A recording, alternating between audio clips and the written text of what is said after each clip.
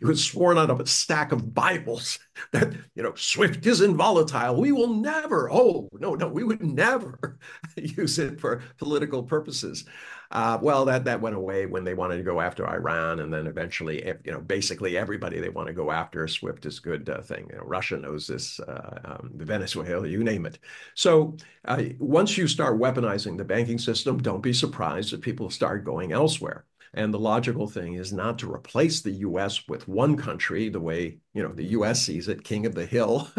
uh, they really see it as an opportunity to create something new, and, and this, that's what we're talking about.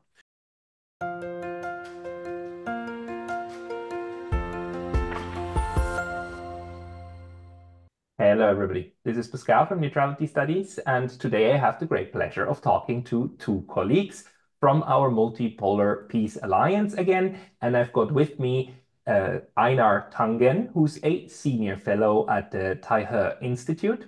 And the other one is John Pang, a senior research fellow at the Perak Academy, a think tank in Malaysia. Hello, both of you. Oh, it's Hello. a pleasure to be here, Pascal. Great to be uh, here. Well, fantastic that you made the time because we want to talk a little bit about BRICS and the Pacific and what to expect for the upcoming meeting in Kazan because the rumor has it that, well, Malaysia sent in an application. We know that much. But will will um, the uh, Malaysian Prime Minister be there? Um, what can come out of this? Will this be the first step of ASEAN into into BRICS?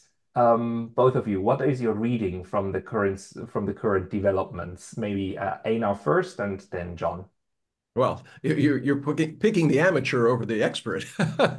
no. Anyways, um, yeah, no, I mean, obviously, uh, well, first off, congratulations to Malaysia. They were picked in the top ten of the uh, best, uh, most peaceful countries uh, just recently in a poll. Um, but yes, Indonesia, Malaysia are kind of on the periphery. Both of them have been looking at this. I think there are repercussions uh, gradually for uh, things like ASEAN. You know, you start looking at how many regional players there are and whether or not those regional players start to coalesce and you start to have a movement of regional groups as well as individual countries towards BRICS. Uh, it starts as a trickle, but I think it, in the end, it will be a rush. Um, and the reason is that right now there's just too many meetings. I mean, you know, you have an ASEAN, you, you have, uh, you know, uh, 20, 30 different meetings. Um, you know, the leaders can only go to so many. It's it's time to start con uh, consolidating. And I don't mean this in terms of uh, power, but I mean it just literally in terms of uh, time uh, efficiency. You you can't afford to spend the time to talk about the same exact issues at so many different venues um, you know, the, the physical travel is, is exhausting. And as I said, it's uh, duplicative. So hopefully BRICS becomes that kind of center point uh, and it avoids this idea that somehow it's controlled by China. You have very powerful players in there. Um, hopefully, it becomes more than just global South. Also includes the uh, stands, mm. um, and you know really starts to pick up momentum where the UN has kind of left off, uh, still squabbling over the Security Council, who should be on it, but not really dealing with the issue that uh, you have five players who have a veto. The, the the UN is the one organization, but ASEAN for Southeast Asia is the other. I mean, John, I'm not interpreting uh, this move of Malaysia towards BRICS as a move away from ASEAN, um, more complementary to ASEAN. But how do you see it? Uh, it's certainly not a move away from from ASEAN. Uh, Malaysia would be there fully as a an ASEAN member um, if if if admitted uh, or when they're admitted. Um, I think the um, Malaysian Prime Minister uh, Anwar Ibrahim was, um, I hear, invited to it, so uh, he may be there. Um, we um, I haven't heard much more about you know Malaysia's status. As as you know, I think uh, BRICS uh, has um, signaled uh, the intention to consolidate for a little, while. They have such a long list of uh, applicants, and I think it's, it's right that they sit down and ask themselves uh, what they want in terms of of membership and what they want to do with the organization, um, whether they're going to organize a secretariat, for example. So it's really a an infant organization that has you know grown um, very, very popular, and they need to figure these things out. And I, I suppose uh, Kazan will be one place where they do that. Malaysia's, um, you know, the way Malaysia or or any other ASEAN major ASEAN country, you know, Indonesia or Singapore, if they were to attend, they would also do so. If no other ASEAN countries are there, they would also be there as in, you know, in their stead as as representing ASEAN. So it'd be very interesting to see the first ASEAN country um, take part in BRICS. As you mentioned earlier, it it, it takes away uh, even more from the narrative that BRICS is somehow controlled by, you know, uh, by China. You know, ASEAN is uh, presumably a smaller organization, although in, in, not that small in terms of numbers. It's ten going on eleven now uh, countries. That's certainly not. Nobody would describe ASEAN as dominated by China. Uh, so yeah, it's so it really takes away from that from that narrative um, even more. Now, having said that, I think ASEAN has a, a history, a background um, that that BRICS doesn't have. So you know, it's for BRICS to build these things up, but but ASEAN has a whole kind of regional multilateral structure around it that's quite well developed. Yes, I think uh, Einar makes a great point. There needs to be some consolidation, some thinking about the calendar so so people are not not duplicating. But the very fact that that people are talking about the same thing in different fora is is, is good. Yeah. I see the I see BRICS as a kind of reaction. It's it's not just a project by itself to the failures of the so-called rules-based international order. Um, yeah. And I remember a previous discussion that we had in which we kind of came to the conclusion that um, BRICS and the multipolar world, the way that they, that we're seeing it emerge around us, is will run or is now going to run much closer on the ideas the way that ASEAN was working on the ASEAN way and consensus. And we know from the, all the BRICS documents that BRICS also works on consensus. Um, yes. Einar, um, what's this going to do to the organization? Because consensus is easy for a couple of countries to to get. I mean, even there it can be it can be difficult. But the bigger this organization gets, is doesn't it run the the the, the danger that it will overload itself and become like it won't be able to move anymore? Well, no, and then that's the uh, the real uh, issue here, and one uh, which people suspect the U.S. is going to try to um, uh, exacerbate because uh, they see this as a, as a real threat. I mean, all of these countries coming together in an alternate organization that they're not interested in, that they've actually kind of poo-pooed behind the closed doors. Um, they said, oh, it's, you know, they'll never do anything. Uh, but with, you know, things like the uh, currency um, issue. Really, that is sending shivers up and down the, the spine of the Fed as well as the U.S. Treasury. Um, and you, you see this, this movement, as you pointed out. You can either, in, the, in a kind of multipolar situation, uh, situation, you have chaos, no one can agree, all right? Or you can have consensus and cooperation. They all begin with C. Uh, the latter two are probably the preferable ones. And I, th I, think when when you start looking at the model that uh, China has been pushing, uh, this idea that you know countries, what do they want at at the very base? They want to be secure. They don't want to be attacked, and they don't want to attack anybody else. All right. Second, they they need to have a path to development, and this is especially true for all the nations that were traumatized by colonialism they're still feeling the after effects. You see the Sahels, five countries in Africa who, you know, basically broke away from France. Why? Because they said, well, we sell, you know, our impoverished workers who you regularly film and, you know, claim, you know, this is terrible human rights abuse. Well, they sell yellow cake to France for 80 uh, cents euro.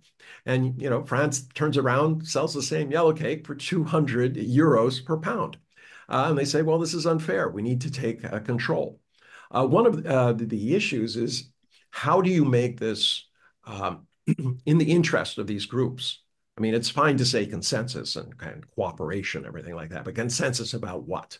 I mean, right now, these are the countries that are suffering the most uh, from the economic uh, fallout from the US.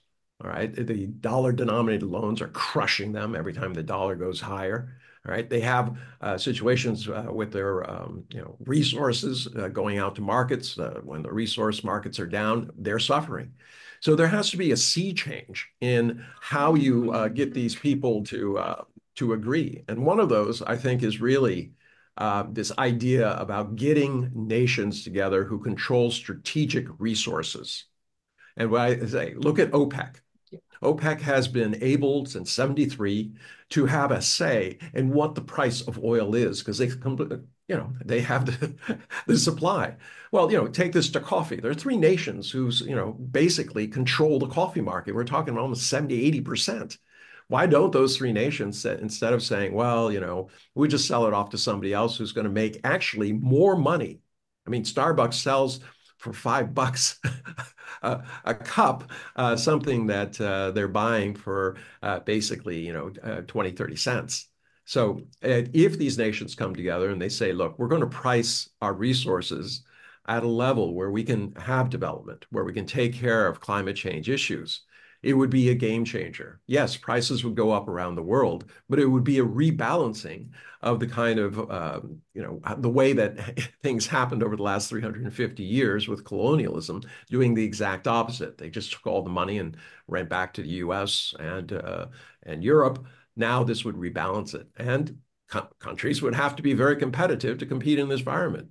But that's an example of what I think is necessary to coalesce these people. You're not going to cooperate if there's nothing to cooperate about. You have to have a new idea. Now, do you think, John, that that might be one of the roles of BRICS to to create these ideas and create the spaces where these kind of of of groupings can come together? Yeah, absolutely. I think I, Einar put it very well. Um, because it is it is still in its uh, sort of nascent stage, they have to decide on what they come together around. Um, and uh, scale is actually one of the early, you know, uh, or economic significance is one of the early criteria. You know, the whole thing began as BRICS for a particular reason. These these largest emerging economies. So it's not, you know, an alternate UN, you know, in the sense of of being all inclusive of the entire global South. There has to be a strategic um, intent there and path, and, and, and certainly this rebalancing of um, kind of global political economy is is a really important objective. And I think what everybody's looking to is the role of finance um, in that, and the role of the dollar. So that's the big announcement, or big set of initiatives being um, scrutinized right now. People waiting for, yeah. And so it's, you... it's really the, the context of the dollar as an as an issue, dependence on the dollar as an issue, and um, how you um, you come out of that, how you solve that problem collectively. Yeah, the, mm-hmm. we've seen a couple of these attempts, right, at ameliorating mm-hmm. a the situation for an entire grouping by attack by tackling the finance sector. The the biggest example, and I think failed example, is the euro for the European Union or like the Eurozone, which which it is now, and and this one has huge, huge problems. So I do not expect that BRICS or anyone would want to imitate that approach. Yeah, um, exactly. But that raises the question: What would be the approach in order to to simultaneously maintain national currencies?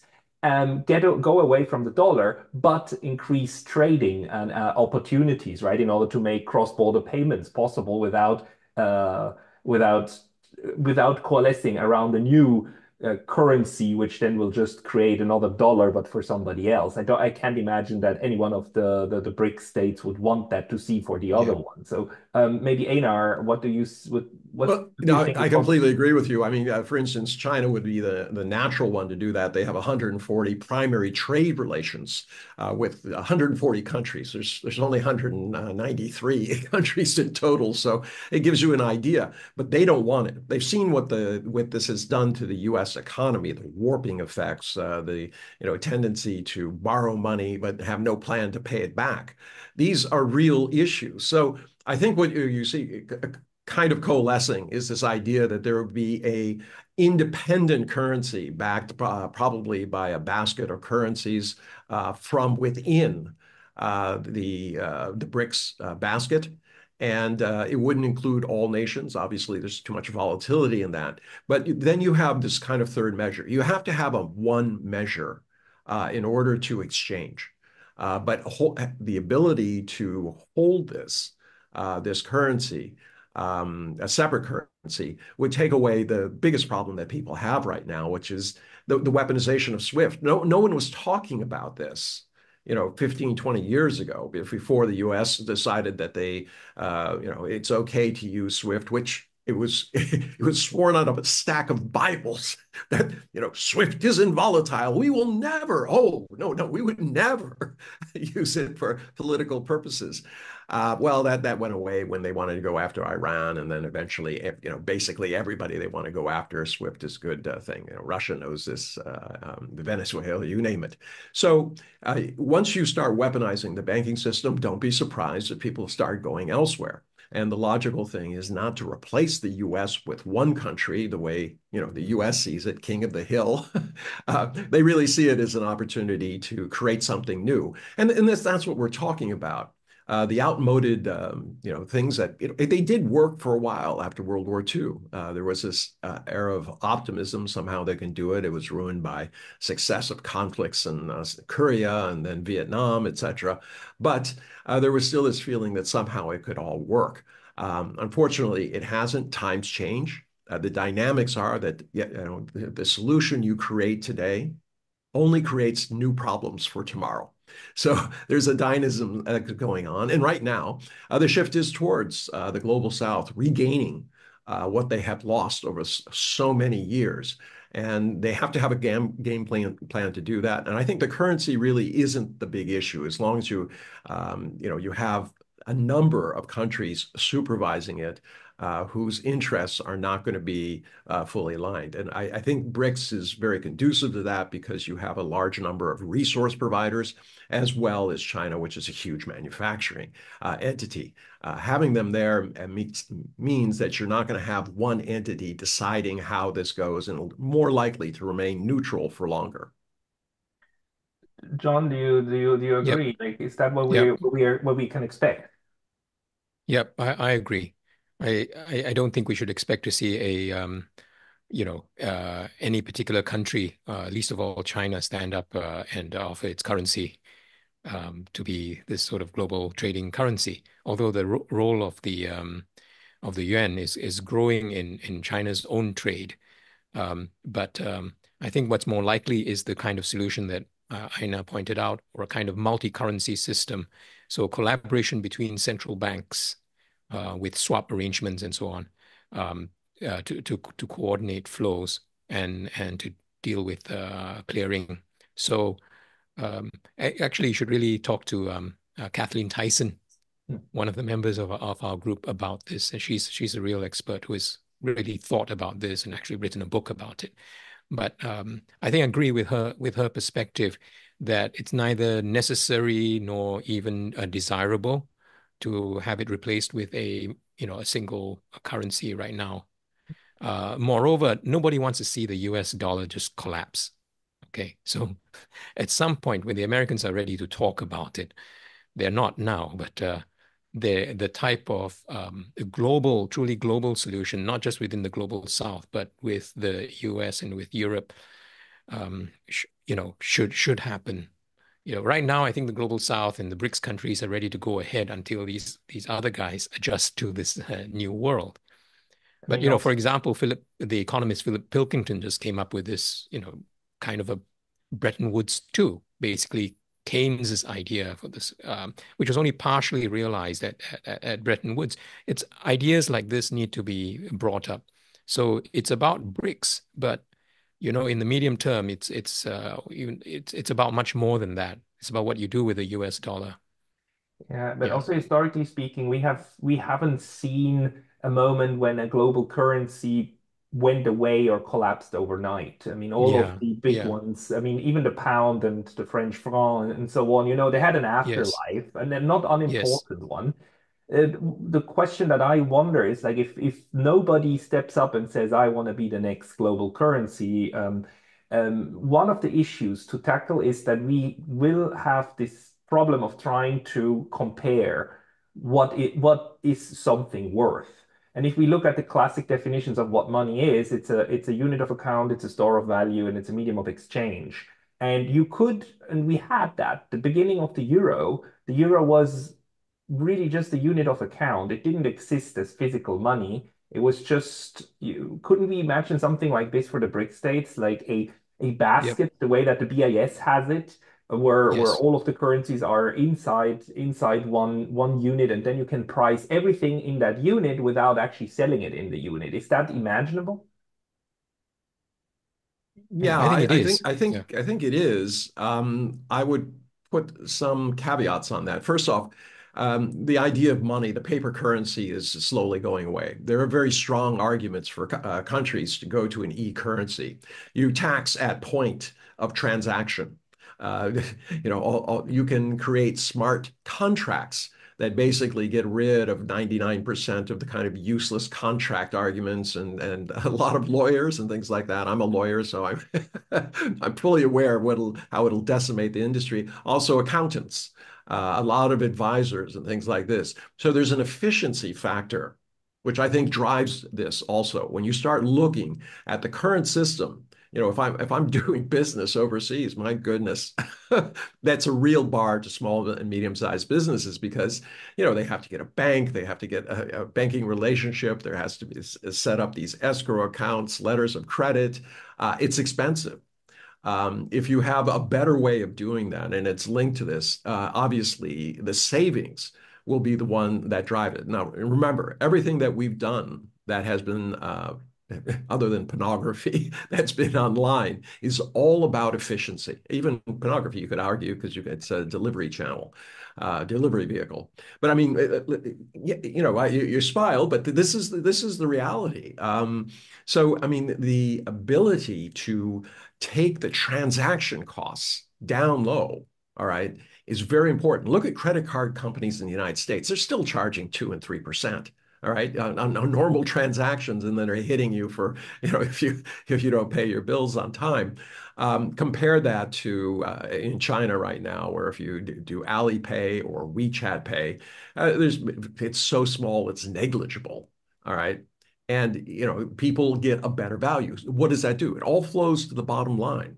And by that, I mean it increases disposable income, which is now available uh, to, in essence, uh, drive the uh, consumption economy much more efficiently than if it's being wasted uh, uh, with middlemen who, who really aren't adding a lot of value. I mean, what were the credit card companies supposed to do in the beginning? you know, it was, uh, you know, just a way of buying things over time you start looking at uh, the fees they charge 23 24% i mean in the old days they would have said that was usury. They would have been outlawed run out of, of town on a post tarred and feathered. But today it's good business. Uh, so you know thing, things will change uh, generally in the uh, area towards efficiency lower cost and uh, that's what will drive it. In terms of uh, the mechanics because we have blockchain um, because we can have an integration of uh, countries that are in essence creating a pool of funds, just basically drawing rights. So it's not physical money. All right. What they're saying is that uh, the China, we're going to put up, um, you know, three trillion into the pool, and then uh, Russia's going to put in some and things like that. And that pool is then available as a, the currency swap uh, mechanism. Uh, it can all be accounted for. It has a real-time dashboard um, which would also be available to uh, countries with an e-currency. And that would make a tremendous amount of difference, efficiencies on both sides. John, do you want to react? No, I, I, I like that uh, scenario very much. I just want to observe that um, if that were to happen, uh, given the geopolitical um, divisions now, yeah, it's more likely to happen. Uh, it, it, needs to happen across a, a group of uh, like-minded countries with a a shared project such as BRICS. Yeah. So this would like be an ideal like thing for BRICS to work on. Yeah, that, like, that was a nice mixture, John, of, of American like-minded yes. shared future. the in-between between shared China experience of having been uh, colonized and being having their economies in some state of you know it's not just an it's not an emotional thing. Their economies in this a certain state of dependency right? Their loans denominated into doll in, in, in, in dollars and their um, and their and their policy dependent on that of the uh, of the Fed. So mm. so these are things that countries will want to be getting out of. When it, when it, yeah. when it... Pascal, I want to add something else on that. And then, you know, one, one of the one of the assumptions that was made, you know, the UN used to make the assumption that you couldn't get rid of poverty. It just wasn't possible. yeah. And as we can see, you, you can do uh, quite a bit in that direction in terms of extreme poverty and things like that if you put your uh, mind to it. Um, but one of the, the old adages is that, you know, the boom and bust cycle of the market is inescapable. You just can't get away from it. Yep. Well, I think that's very old thinking. Uh, the fact is that uh, with um, increased uh, power in terms of computing. If I'm a farmer um, in in China and I decide, well, I want to raise, a, you know, if I if I buy 20 piglets today, what's going to be my uh, price at market? I can actually sign on, and based on other people signing on in a very much a very big, uh, complete database, it can actually uh, tell me, okay, your your market price is going to be this, your cost is going to be that, your you know this is what your profit is going to be. Obviously, if I sign on and says you're going to lose money, I'm not going to buy the pigs. So that stabilizes the market, and you could have the same thing across a lot of commodities. You know, you have this boom and bust in chicken, eggs, uh, you know, beef, uh, all all the commodities, uh, even extending to uh, you know wheat and soybeans and things like that. But also in terms of steel uh, matching up production and things like that would uh, prevent a lot of dislocation of capital, which happens when they're doing this boom and bust. There's always a loser, and that loser goes out of business. And it's not efficient for the economy to be losing those people like that. They get discouraged. They might not do it again. Uh, all the productive forces are gone. Real people get hurt because they lose their jobs, they lose their savings. It's not necessary. I'm not saying you can get rid of it completely, but certainly um, there'll be tools that you can use so it's much easier for small, medium-sized businesses and even large business to calculate future costs. Remember, business is not about taking extraordinary risks. It's about taking limited risks in the areas of your expertise. And I think uh, there are systems out there that could help uh, promote that along the problem with that one is always that um, we have certain we have come up with certain mechanisms in order to make uh, bust moments less likely. And one part is insurances, right? That that are there and the calculation of risk and and, and because most things are a bell curve at the end of the day and you can like, pretty pretty as long as you have a lot of instances you you have a good chance of mitigating these risks but there are moments when we create like only very few big institutions, and if those fail, if the big markets uh, create problems, like the housing market is such a, such a uh, uh, an example, then it can it can drag other things down. And I remember 1997 was the large Asian financial crisis. Do you, John, like think that something like this, like 1997, is thinkable again today in in in Southeast and East Asia, or are the um, is the structure of the system now more robust? Well, 1997 was um, very traumatic for Southeast Asia. And uh, that's one difference between Southeast Asians and, uh, say, Western commentators in their perspective on the global economy. Uh, an entire class of uh, not just not just ordinary people, but financial service professionals um, went through this and drew lessons from it and prepared accordingly, adjusted the uh, banking rules, uh, created um, monitoring mechanisms, swap arrangements uh, between the banks in the region uh, to prevent this happening again. So they're prepared, you know, they're, they're, they're they've adjusted to make sure this doesn't happen again.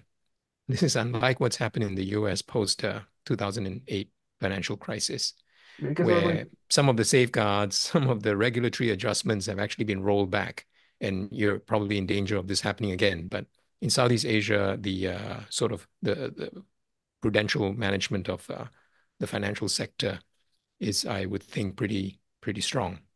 Yeah. And what we've seen in the US and in Europe too is rather a consolidation, especially of the banking sector.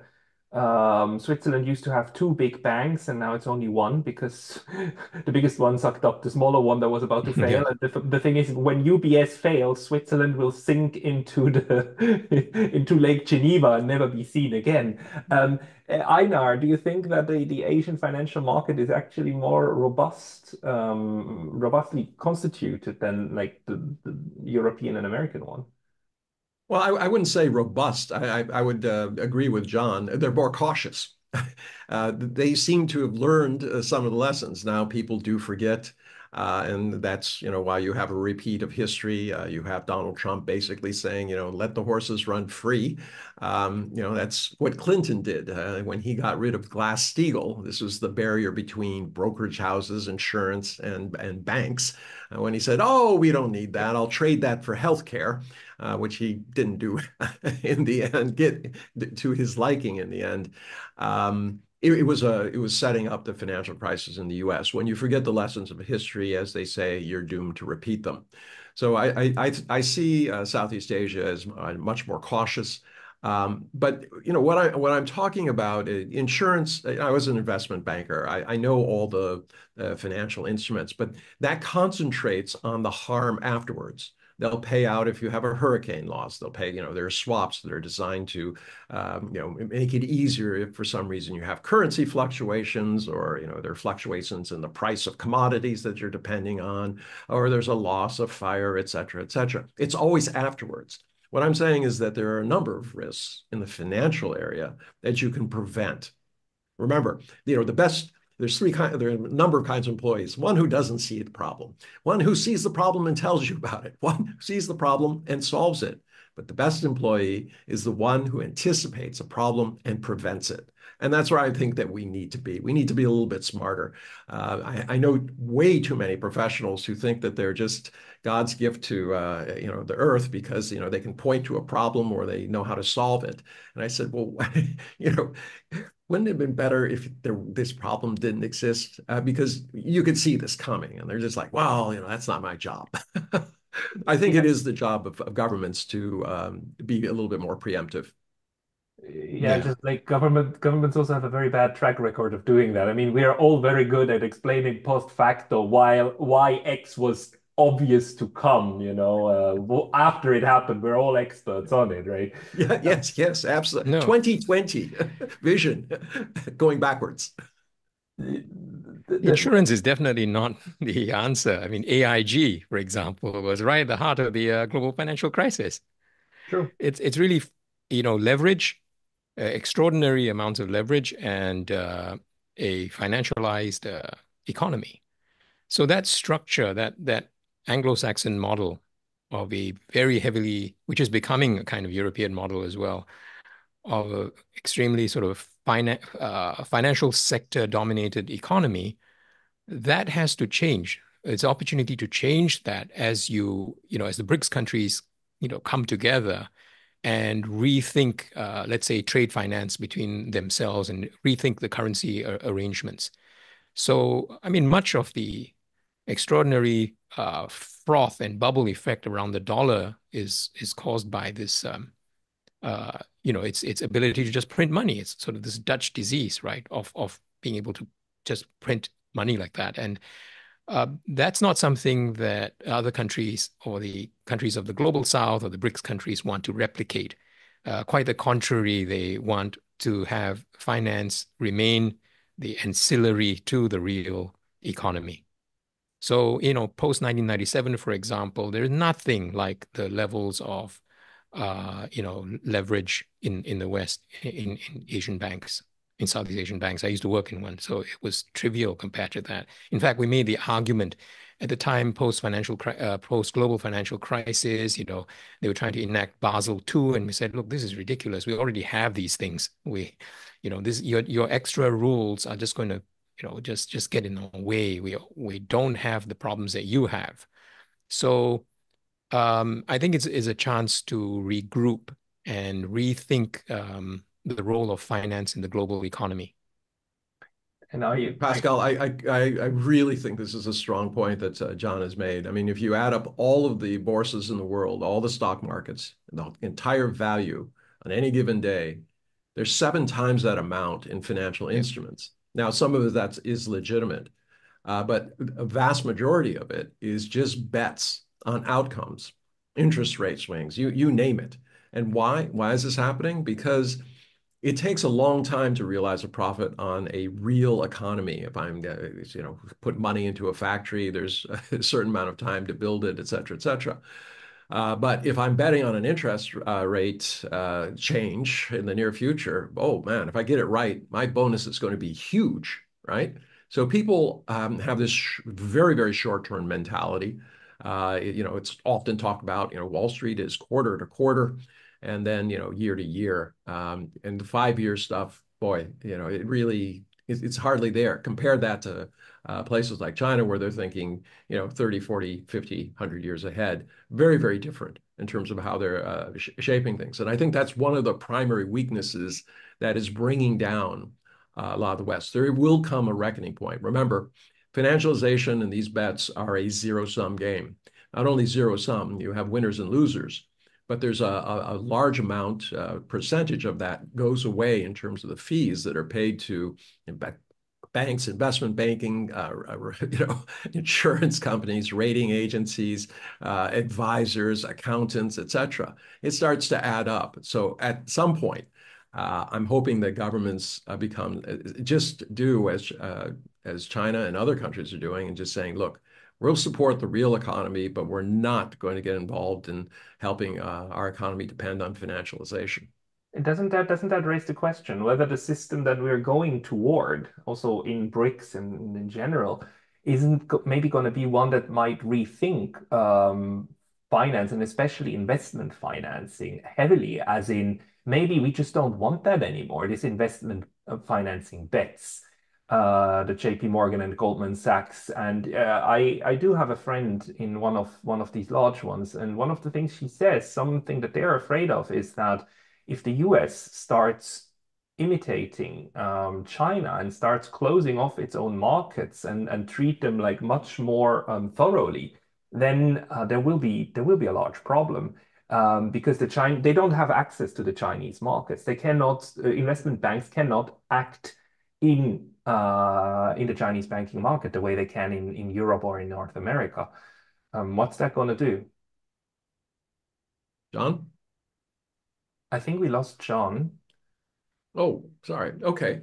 Well, I mean, yeah, obviously, uh, JP Morgan and all the investment banks depend on financializations. I mean, go go back when they were they were uh, selling products against their clients' interests.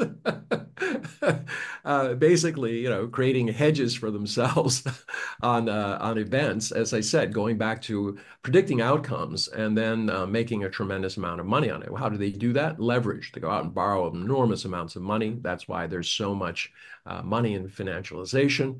Uh, because they they're looking for small moves that they think are safe or big moves if they if they have the the guts, uh, and then making piles of money uh, doing it. Uh, but as I said, it kind of uh, catches up, uh, up with you after a while. Now, in, in terms, uh, you you still have to have some sort of finance. But if you have electronic currency and you have hybrid banks that are able to understand and make much quicker decisions uh, based on AI. They can uh, look at a person, their history, uh, social credit score. It's not perfect, all right, but it, will allow them to make uh, credit decisions uh, much more quickly. So instead of waiting for months and weeks to figure out whether or not to do it, uh, they can instantly have the AI check the prices, the for everything from labor down to nuts and bolts, what the machine would cost, uh, land, uh, how long it takes to do, what the return is going to be, and they can estimate it. It's not going to be exactly. Now, please don't don't think that I'm describing a panacea because I'm not. Uh, what happens, as I said, is you come up with a new system and then that just creates new problems. But I'm saying that things are going to move in this direction simply because of the efficiency of it, lower cost. Uh, this is what people want. Uh, if, if, I do a dollar denominated trade, it's going to cost me X. Uh, if I do, um, uh, you know, this other system, gee, it's a fraction of X. Now, gee whiz, which one I'm going to go for? Especially small, medium-sized business entities or, who don't have uh, other issues. Now, Obviously, there's going to be some uh, pushback against this. Uh, JP and all the boys are going to be saying, no, no, no, no, no, don't change anything.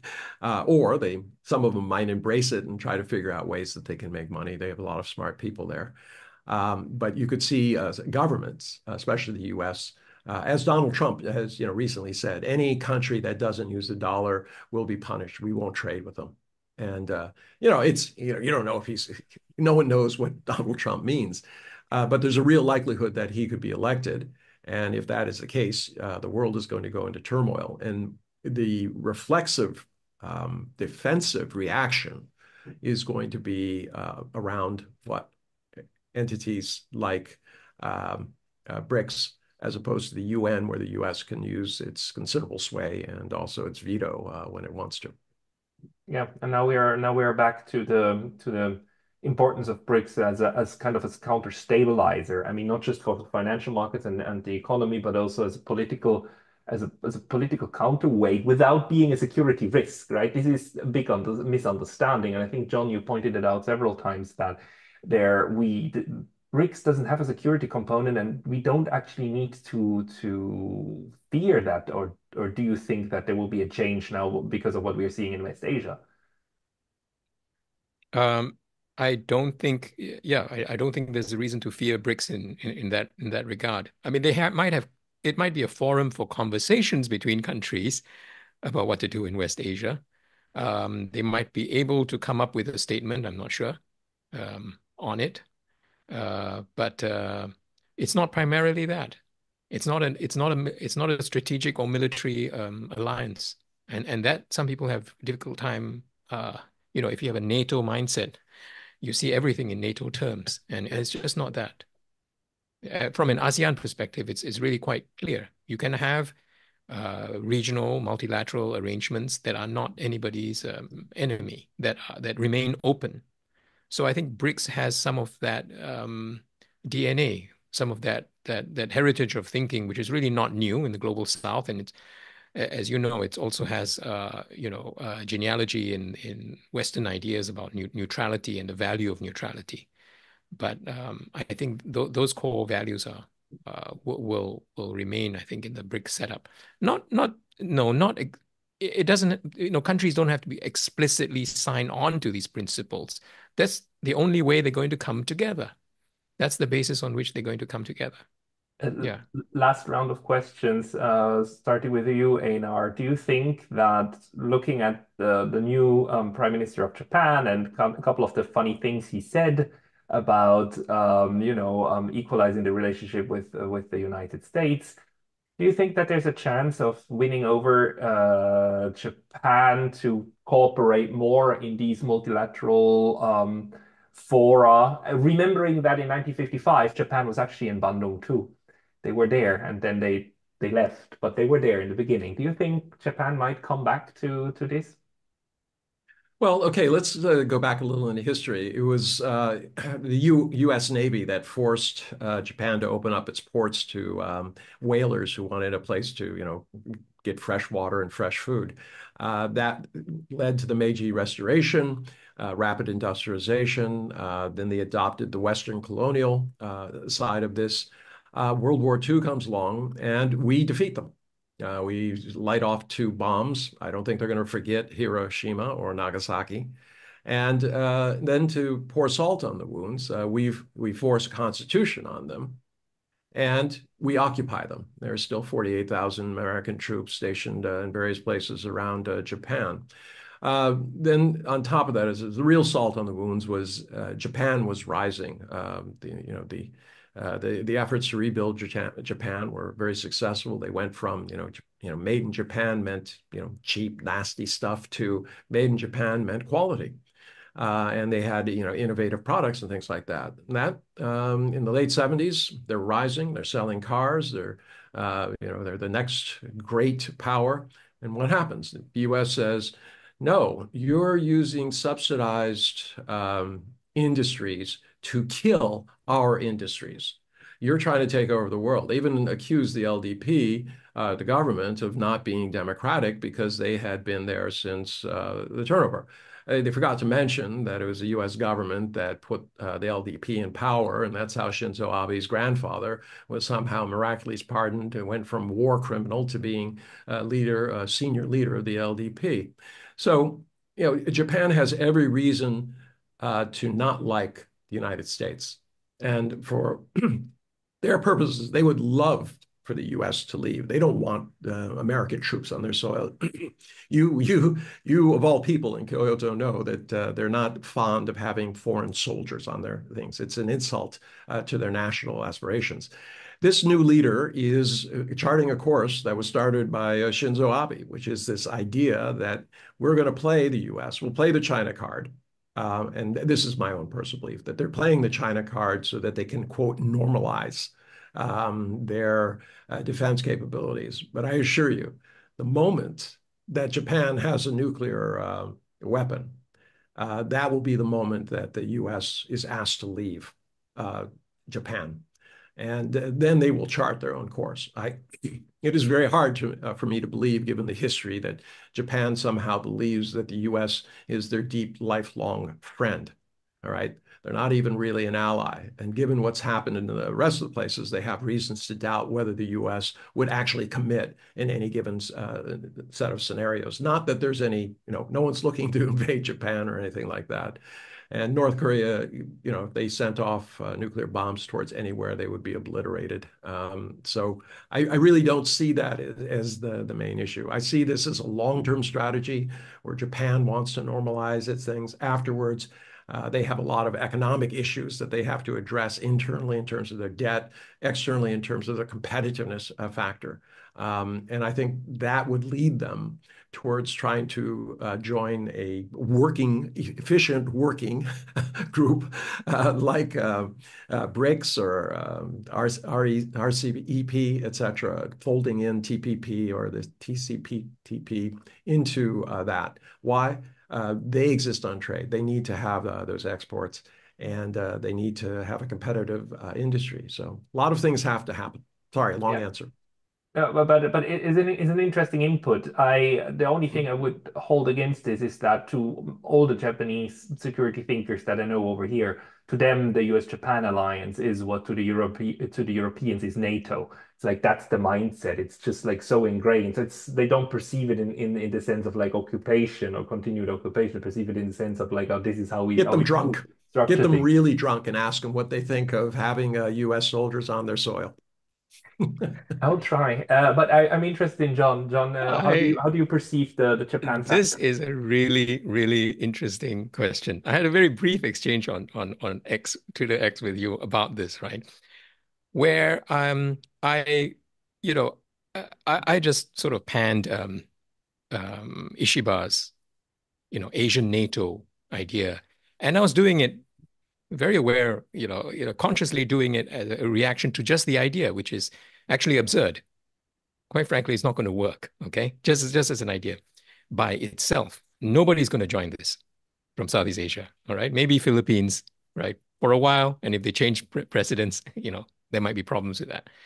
But um, not to get into that, uh, you know, you reminded me of the the thing you you did the episode you did here on your on your on this channel, uh, where you discussed some of the nuances behind it, the context of this plan and what they were trying to do. And there, Einar's comments are, are really germane. And I completely agree. You know, this needs a whole, this could be a session unto itself or a whole series on a really tortured relationship. Mm. Because what Einar said is wonderful, and it's probably true. Uh, I haven't had the benefit of getting as many Japanese guys drunk, but it's it's true that that that strand of resentment is there, but it expresses itself in very strange ways. It's not in the open. This is the first time I've heard it. You know, you're not going to see it stated so clearly. You certainly are not going to hear it from a Japanese anywhere near officialdom, right? Any any of establishment Japanese will not say this. Uh, but it's a really difficult issue. This question of, as I said, this embarrassing situation for them of being de facto sort of occupied And the point at which they express resistance to it is this matter of the Constitution. Reform or renovation, it's not just about removing Article 9.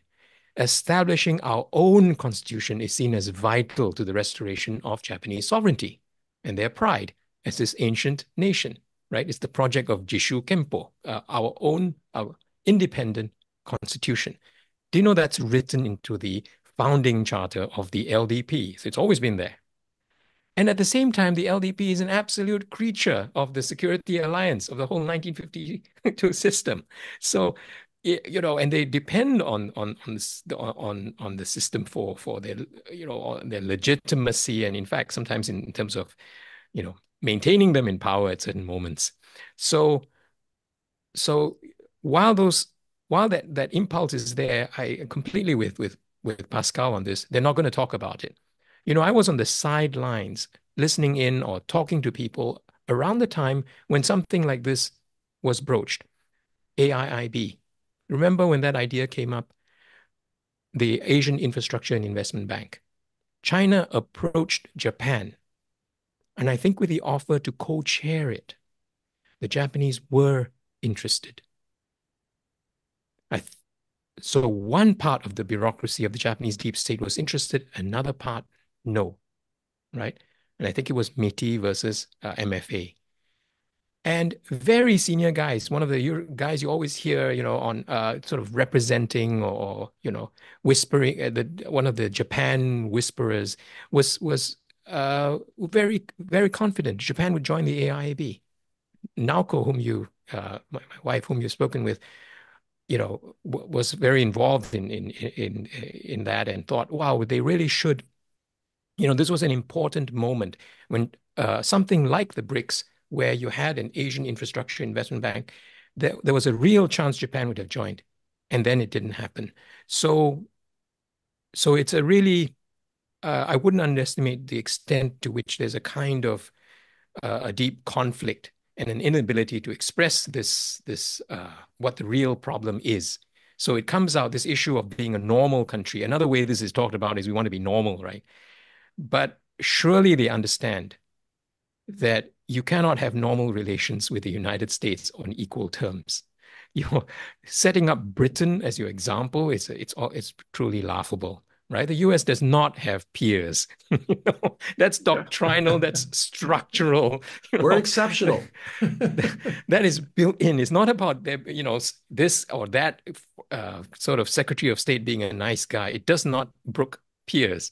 but for, for Japan, this is not the case. And then there's a kind of imperial hangover about their role in Asia. So underneath this talk, whether it's Ishiba or whether it was Abe, there's a whole set of these issues which are not articulated, uh, you know, in any clear way to people outside. And of course, there's also a right-wing revanchist element that wants, you know, the old Japan, Meiji Japan back, because they did write a draft of this constitution they wanted, and it was just the Meiji, the Meiji constitution, with the emperor restored to that role. So, you know, uh, I would agree. I mean, if Japan could take the step of having some presence at BRICS, if they had the guts to do that, it would be very, very interesting. Ultimately, Japan's problem is how to, you know, reverse their exit Asia, enter Europe thing. Their, their problem is really how to enter Asia, exit the, the, Europe. The big re-enter, the big coming. The they big need return. to re-enter Asia. They need to find their place again in it. In and it's as much a cultural, emotional issue among the, and this is really a kind of a small Japanese elite because the, I think the rest would follow as as anything else. Many of them, I think Einar is right about, well, you get them sufficiently drunk, they might say this, but a lot of them see this US relationship as what makes them distinctive. It's what makes them sort of one of the great powers in 19th century style, as if that idea was still at all, you know, made any sense at all, right? We want to be like Britain wants to be like Britain? Nobody in the global south wants to be like Britain. Only you do.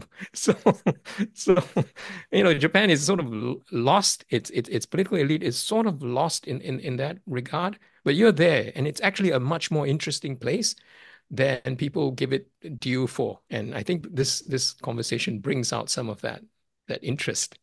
I, I'm just always afraid that Japan misreads or misinterprets what's going on, especially in, in the US and Europe, because there's a history of kind of yes, yes, then then trying to imitate something, imitating it on the surface, but beneath, like doing something completely different, and then that makes yeah, it just difficult to yeah, understand where they yeah. are. They need the Um, sort of resolve, the kind of elite resolve and group, seriously, a group of young people, capable young people, able to, uh, of leadership, able to do again for them what they were able to do for the uh, during uh, post Meiji Restoration, because that was, you know, that's an exemplary thing. How how they how they they turned it around and grasped the historical moment, right? They went towards this Western model, which had horrible effects uh, for for the rest of Asia, but that's another story. There were other possibilities in that movement towards sort of Pan Asianism, for example. There was a whole set of ideals. Japan was far more interesting intellectually uh, back then than it is now. Or at least maybe I'm not seeing it right. Maybe everybody needs to get drunk before they can start to have ideas. But yeah. Einar, it was your idea to get the Japanese drunk. Do you have a last idea to reply to that, and then we wrap it up? No, I agree. I agree with John. It's uh, you know, we we all have our differences. Japan, um, it's an old culture, and as you know, things are on the surface one way and underneath yeah, completely different. yeah. This exactly. this is the cue for us all. Let's let's get drunk and get honest. Um, I, I thank you both for an honest discussion without being drunk. Yeah. Vino veritas. In wine is truth. In wine is truth. Einar Tangen and John Pang, thank you very much. Thank you. Thank you.